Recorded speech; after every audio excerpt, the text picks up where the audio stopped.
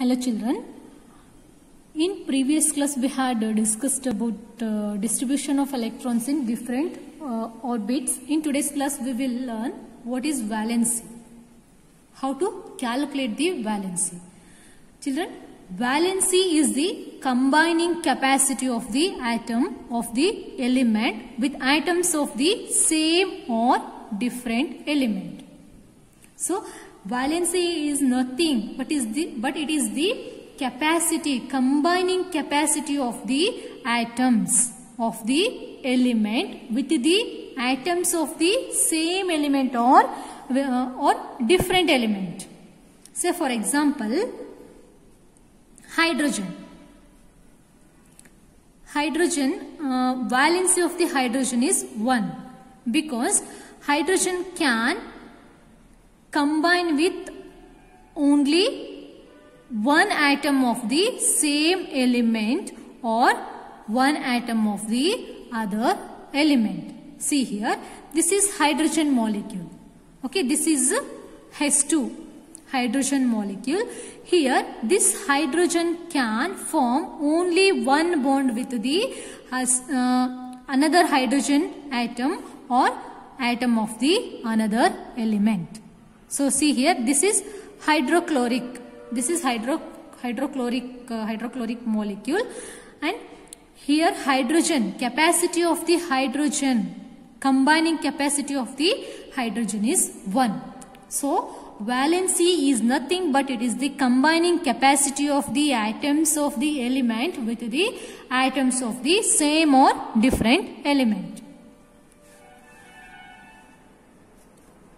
We can predict the uh, combining capacity or valency of the element when number of electrons are gained, lost or shared by the atom of the element. Okay, we can explain when the particular atom of the element will lose or will gain or will share the will share its electron. Then only we can we can uh, predict or then only we can explain the combining capacity or valency of the element. Children, now we will see how to calculate the valency of an element. So, uh, there is a formula to calculate the valency of an element. Children, for the uh, for the elements when the number of valence electrons are from 1 to bit 1 to 4 for the those elements whose number of uh, whose valence electrons are in between 1 to 4 for example if you take hydrogen helium neon um, not neon lithium boron. Okay these elements these elements they have outermost share, outermost electrons that is valence electrons hydrogen in hydrogen one valence electron is present. One electron is present in outermost shell. In helium two electrons are present. In lithium one electron is present. And uh, in case of boron two valence electron is present. In case of sodium atomic number is 11 okay.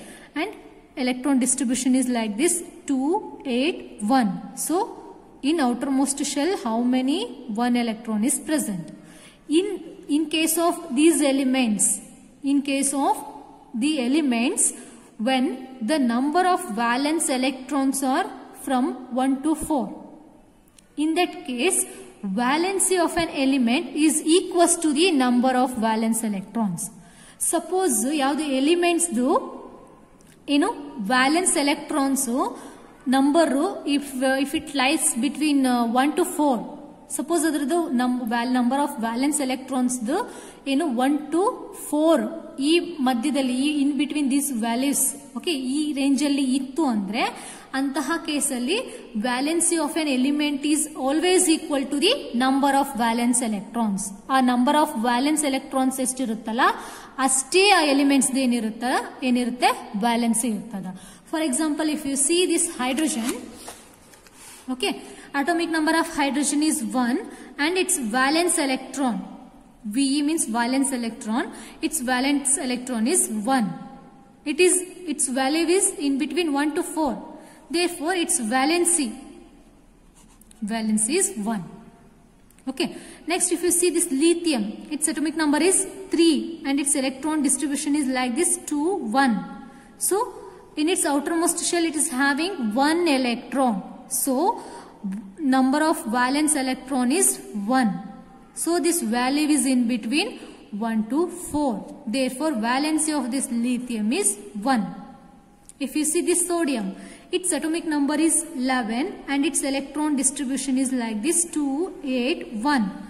And in its outermost shell, it is having 1 electron. So, number of valence electron will be 1. Therefore, since this number of valence number of valence electron is in between 1 to 4, therefore its valency is 1. It means its combining capacity of the sodium is 1 and that of lithium is 1 and that of hydrogen is 1. So, in case of the elements when the number of valence electrons are from 1 to 4, in that case valency of an, of an element is always equal to the number of valence electrons. But it, uh, it is not in case of the elements when the number of valence electrons are greater than 4. Okay, if the uh, in case of elements in which number of valence electrons are greater than 4, in that case we have to use this formula. See here, this we have to use this formula. Children see here, the valency of an element in case of elements having valence electrons greater than 4. So this is equals to 8 minus number of valence electrons. We have to use this formula while calculating the valency of an element in which the number of valence electrons are greater than the 4. For example, fluorine. We know that fluorine, atomic number of fluorine is 9 and its electron distribution is 2, 8, 1. Sorry, it's not, it's wrong. Its electron distribution is 2, 7. Okay. In K shell, 2 electrons are placed and in L shell, seven, remaining 7 electrons are placed. Okay.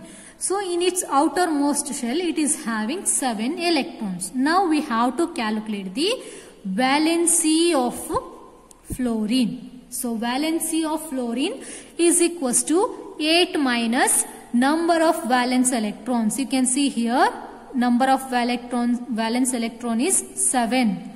L is the valence cell. In valence cell 7 electrons are present. Therefore 8 minus 7 this is equals to 1.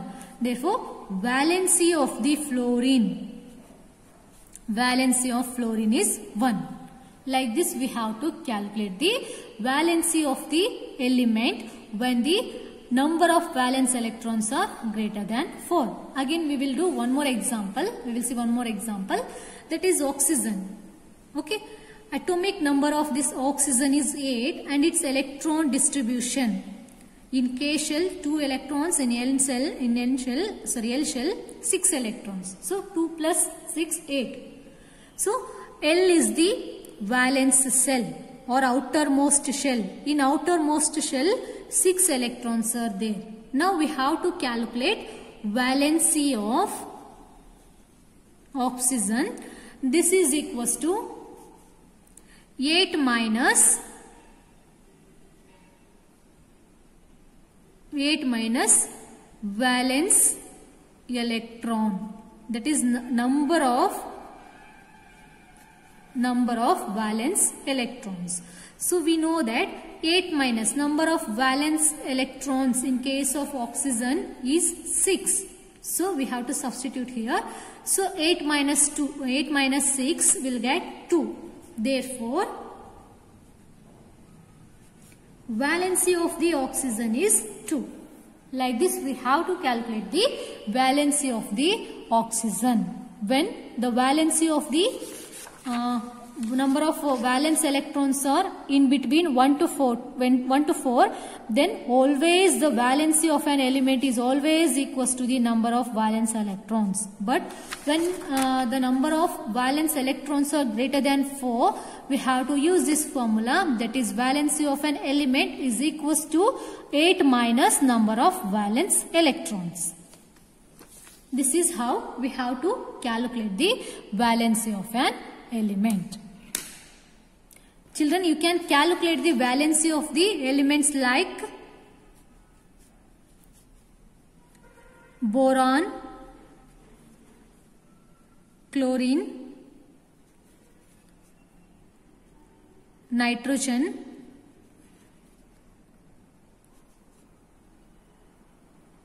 phosphorus. Okay you can calculate valency of these elements. It is as a it's a homework for you okay. Now uh, we will see atomic number and atomic mass or mass number.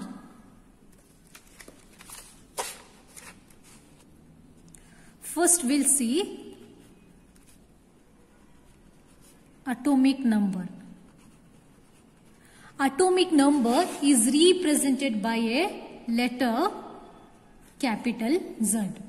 Atomic number is always represented by a letter capital Z and then what is atomic number? Then what is atomic number? Atomic number is nothing but is uh, it is the total number of total number of protons present in nucleus or we can also say that total number of electrons okay so whenever we are defining the atomic number we must define like this. Atomic number is nothing but it is the number of total number of protons present in the nucleus. Okay, we can also define like this total number of electrons present in the uh, atom is known as atomic number. But for accurately, accurately, this is the perfect definition. That is number of protons present in the atom is known as atomic number. In case of neutral atom, in case of neutral atom, when we consider the neutral atom, always in case of neutral atom, number of electrons are always equals to number of protons.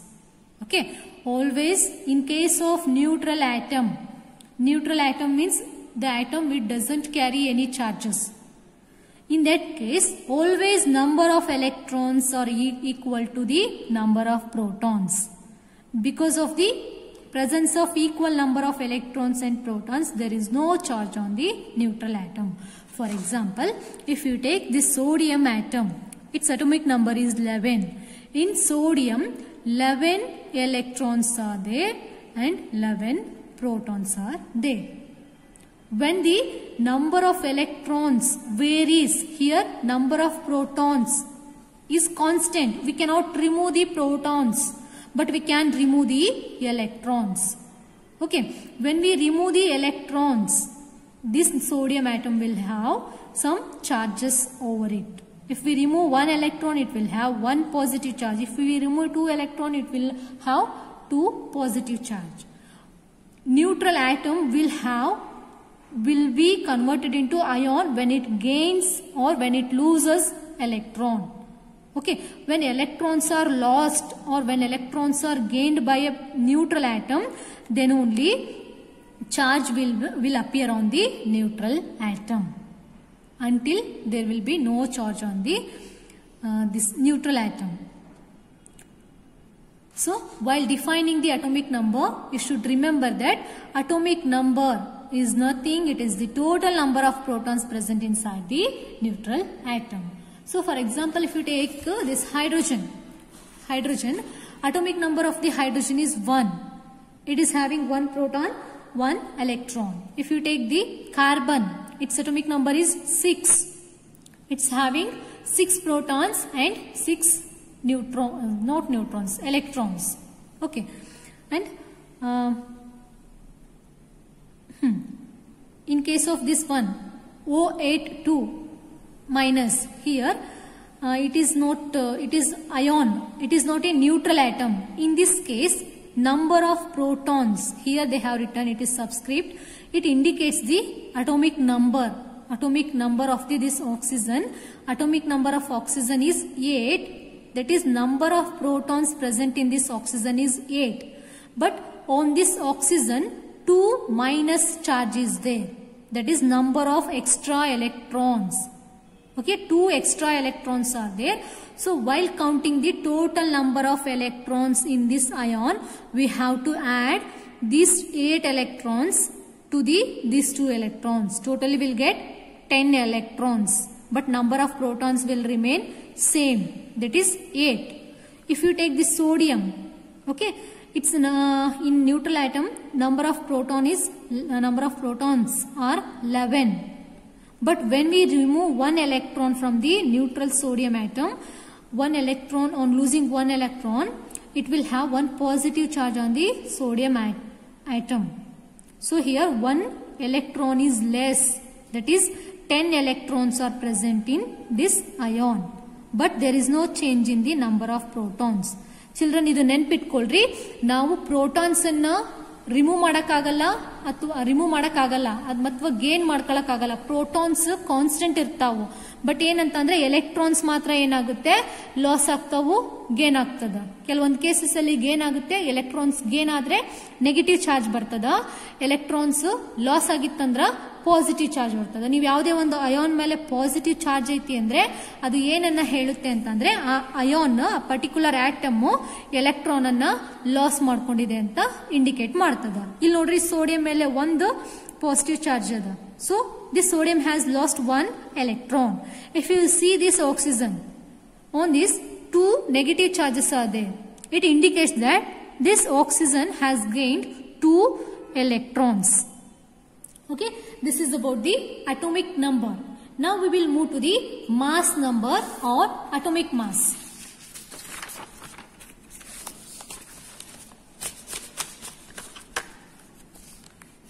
Now we will move to the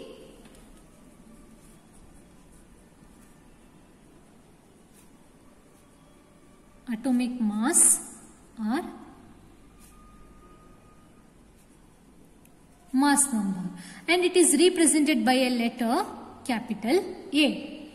Children, atomic mass is nothing but it is a sum of but it is a sum of number of protons and number of neutrons. Okay. So atomic mass is nothing but it is the sum of number of protons and number of neutrons. So collectively um, number of protons and number of neutrons are known as atomic mass. We can here we can calculate the number of protons and number of new, neutrons if we know the atomic mass. Okay for example, if you take that uh, carbon, if you take the carbon, its atomic number is, sorry, atomic mass, that is A, atomic mass is 12 unified mass. Okay. In this, we know that atomic mass is equals to number of protons plus number of neutrons. Small p stands for number of protons and small n stands for number of neutrons. Children, we know that uh, atomic uh, number of the, this carbon is 6. It means number of protons, number of protons in carbon is 6. So, we can calculate the number of neutrons here. We know that atomic mass is equals to number of protons plus number of neutrons. We know the atomic mass of carbon and number of protons present in the carbon. We can calculate the number of neutrons.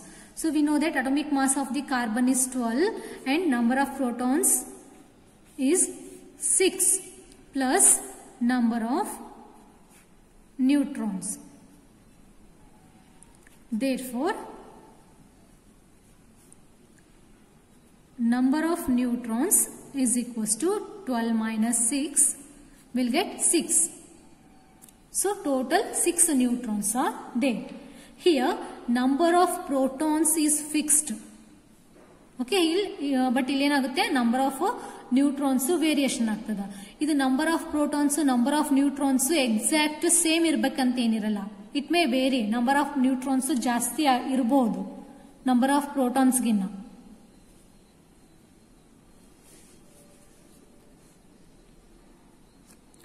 And if you take one more example example, is is Okay, atomic number of atomic number of the aluminium is 13. Atomic number ಗೊತ್ತಿದೆ ಅಂದ್ರೆ we know the number of protons. We know that number of atomic number is equals to number of protons present in the particular atom. Okay, and uh, we know that atomic mass atomic mass is 27 unified mass. So by using the formula that is atomic mass is equals to number of protons number of protons plus number of neutrons okay we know that atomic mass of the aluminium is 27 this is equals to number of protons. Here we have number of protons that is 13 plus number of neutrons. So we can calculate the number of neutrons. Therefore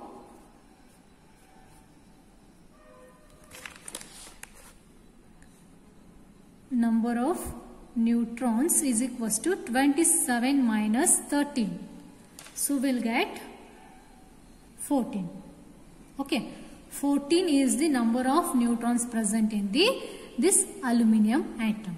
So like this uh, by knowing the atomic number, sorry, sorry, not atomic number, mass number, we can calculate the number of neutrons, number of protons. Children and this uh, atom can be represented by using the notation Z, A, sorry X, A, Z. Like this we can represent the element. If we represent like this, we can will get the complete idea regarding the atomic mass and atomic number. Here where X is the symbol of the element where X is the symbol of the element. And we know that A is the atomic mass. And Z is the atomic number. So for example, uh, see here nitrogen 14 7 see here here 7 it represents the z value. It is the atomic number. It is the atomic number and this 14 14 is the mass number. If we uh, have this notation means we can calculate the number of protons neutrons electrons okay? With this information we can predict the number of protons electrons and neutrons. Here number of proton is 7 and number of electron is also 7 okay? But number of neutrons that is it is that is also 7 that is number of atomic mass uh, minus number of protons. Will get the number of neutrons. So like this we should uh, we, we can calculate the number of protons, electrons and neutrons. So it is very important to remember the atomic number and atomic mass. Next class we will see what are isotopes, isobars.